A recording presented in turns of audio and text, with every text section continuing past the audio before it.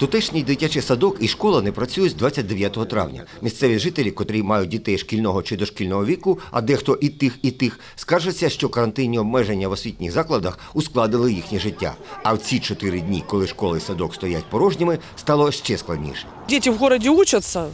Е, 1-4 класи. Садики працюють. Діти в місті навчаються з першого по четвертий класи. Садочки працюють в інших селах. Також у нас же начальник відділу освіти Олексій Фурса самовільно закрив. Чому з якої причини хотілося б це з'ясувати? Я розумію, що старші класи можуть так навчатися, бо вони більш самостійні, але маленькі діти повинні навчатися в школі. Батьки працюють багатьом ні з ким діток залишити. На даний момент в садіки 2-3 дитинка з нашої групи. На даний момент в нашому садочку хворіють дві-три дитини з нашої групи, але це звичайні ГРВІ, грип. Ними хворіли й раніше. Вважаю, що наша школа і садочок повинні працювати. Чому в місті зараз дають освіту, а в нашій школі ні? У нас що діти не такі, як у місті. Я вже звільнилася. Вибачте мене, тому що я взяла місяць і 20 днів. І що мені сказали? Тепер або виходь на роботу, або звільняйся, тому що мені треба навчати дітей.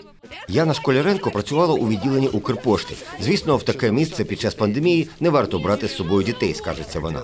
А обидва малюки потребують піклування. Відповідне розпорядження сільського голови було розроблене на підставі протоколів засідань комісії з питань техногенно-екологічної безпеки та надзвичайних ситуацій обласного та районного рівнів. А насамкінець протоколу засідання місцевої комісії з питань техногенно-екологічної безпеки та надзвичайних ситуацій Новоолександрівської сільської ради.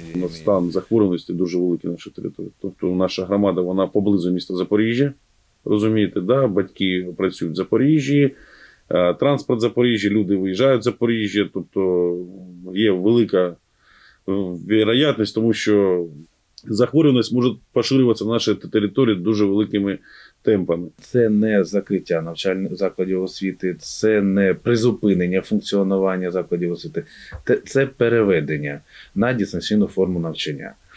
Е, Оскільки е, на, за інформацією на- закладів освіти е, стан захворюваності по закладу дошкільної освіти і дошкільним підрозділам закладів загальної середньої освіти по території нашої громади склав більше 50%, було прийнято рішення щодо припинення освітнього процесу за очною формою. На який період припинений освітній процес у навчальних закладах цього населеного пункту, начальник відділу освіти Новоолександрівської сільради не дав відповіді. За його словами, це залежить від рівня захворюваності на території громади, а також від тенденцій по області і загалом по Україні.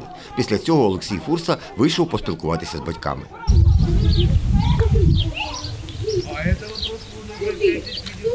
Я поеду с плакатом, до дома в администрации буду стоять, пока здесь меня не услышат. Хорошо. Поняли вы или нет? Я хочу в школу. Дома очень скучно.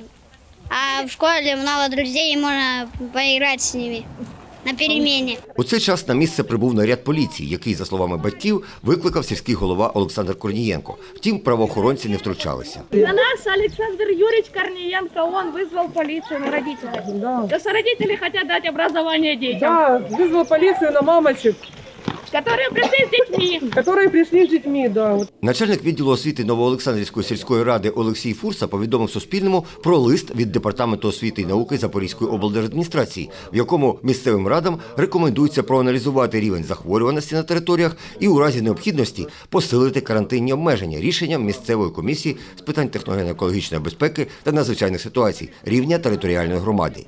Тож журналісти Суспільного звернулися по коментар до обласного департаменту освіти. Мова йде про те, що вони на своєму власному е, місцевому засіданні власної комісії 26 березня, тобто на наступний день після того, як відбулася обласна е, е, засідання обласної комісії, вони розглянули ситуацію зі станом захворювання в закладах освіти Новоолександрівської сільської ради. І м, ті показники захворюваності, які були е, на території саме безпосередньо станом на 26 березня, вони говорили про те, що школи, садочки, заклади освіти в цілому відвідувало тільки десь 50% від загальної кількості дітей в громаді.